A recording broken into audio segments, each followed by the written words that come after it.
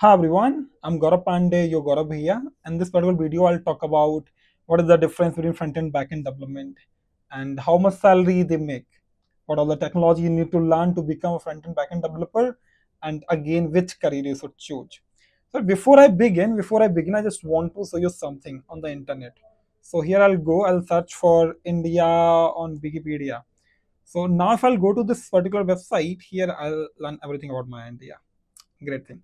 But what what I want you to do as of now, just observe the structure, okay? Observe everything that you are able to see. I'm just going to change the URL. At the place of India, I'll write the Nepal. I'll write the Nepal. What's happening? What's happening? Tell me. The whole structure is same, just data has changed. Just data has changed. Okay, let's try again. Let's try again. Is this happening for this or it will work for everything? So now what happened? I just when I change just this URL, then again the whole data has been changed and the structure is same. So the front end part means which is visible to you. This structure is visible to you. This structure is visible to you. So this is the part of the front end. This is the part of the front end. Whatever you are able to see on the screen, that is the part of the front end. But whatever is running it, that is the back end. Basically, when you change this particular URL, you're getting the data from the data. That is the backend development. That is the backend development. Okay. I'll give you another example. Let's suppose I'm visiting to the Amazon and here I'm going to see a few products. Okay, so here the Amazon's website, right? So now you'll see that a lot of products are listed here. So again, whatever you're seeing, that is the part of the front end. But like how these images are coming from the databases, that is the part of the backend development. So basically, front end developers are working on the front end part, which is visible to everybody, which is visible to like to the world but the backend developers work in the backend means they create the databases, they manage the databases, they create the login processes, right? They are the reason why which we are able to make the PhonePe or Google Pay transaction every day. So this transaction processes are being maintained by the backend developers, right? So whatever you're working on the server, like you're creating databases or you're handling the security. So these things are the work of the backend developers and front end developers. They'll create the interface for the user right and this interface is running because of the backend. That's why they're getting the images they are getting everything as smooth as they required. Again the logging process like you want to you know sign up or sign in that process being maintained by the backend developers and the backend systems. Right but that interface that form the login form will be created by the front end developers. So now i hope you are very clear with the front and backend. Like whatever is visible is front end and whatever is not visible but is responsible for running this front end is the backend. Right now we'll go back what all the technology you need to learn to become a front-end developer. So basically you must know HTML, CSS and JavaScript and after that you have a choice. Either you learn React, JS, Next.js or you know some other technologies so that you will have a choice for advanced front-end development. But here are a few examples of front-end technologies. Right. And the, another thing you already know what, what are the backend developers?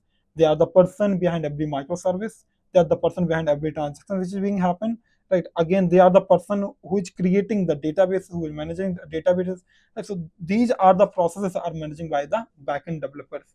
And if you want to be a backend developer you want to be somebody whose code will be running on almost every device that time you need to learn express.js node.js or mongodb. But again there are a lot of backend technology. It's not they are not specific that let's say somebody, somebody very good with java.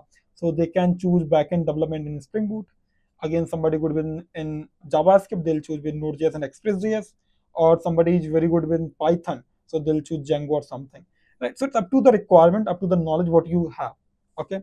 And now the next thing is that you know how much salary people make how much salary they make as a front-end developer or as a back-end developer okay? So basically this question varies companies to company uh, because if you're working with a startup you're working with a smaller company probably you will have a lower package but if you're working with very big companies, uh, let's suppose you're working with Google or Amazon something, then you will have very very good packages, right? Very good packages. So again, for average salary, I'll talk about for front-end developers, people get around five to seven LPA, and for backend developers, people get around seven to nine, 10 LPA as a fresher in startups and mid-level companies. Again, for top MNC, they, they are having very good packages around 15 LPA, 20 LPA, or more than this as well. But experienced people are really making a good sort of money uh, for startups, if somebody has experience of five to six years, they're making around 20, 30 LPA. So almost every experienced guy who's having the experience of three to four years, they're having 15 plus LPA.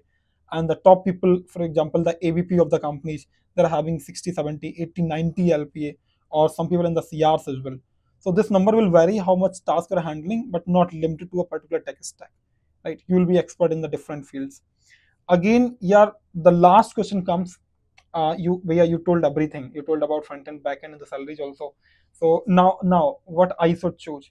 And i'll say that if you're very good with designing you're really passionate about uh, creativity you're really passionate about the colors and things then you should go for the front end. You're somebody who want results immediately you should go for the front end. Because only then you'll write the code you'll see the output. But if you are somebody who are very good with the logic building who can solve the complex problems who can solve the complex queries they should choose the backend development because the people who are very good with the IQ, the people who are very good with DS and problem solving mathematics, they are very good backend developers. Okay, but anyway, you should try both the fields at the starting stage. Whatever gets interest of yours, then choose that thing. And again, how you can learn all these technology like front and backend development. You can you can go one place that is the PrepInsta Prime. That is basically the Netflix of the coders. So go and ready with the popcorn and chill over there. So there you'll get 200 plus courses under one subscription and you will have unlimited entertainment of coding. Right means unlimited knowledge of coding. Right and you'll learn a lot of things. So that can be one good place. Go there check it out the everything like how you'll get the help of it. But there you'll see multiple courses of the front end back end also of dsa digital marketing and other things. So you'll get over there. See the next video. Till then take care. Bye bye and i hope you really enjoyed the video. If you really enjoyed like the video share the video with your other friends who really need it and subscribe the channel if you're coming for very first time by which you can get the further updates. So the next video. Till then take care. Bye bye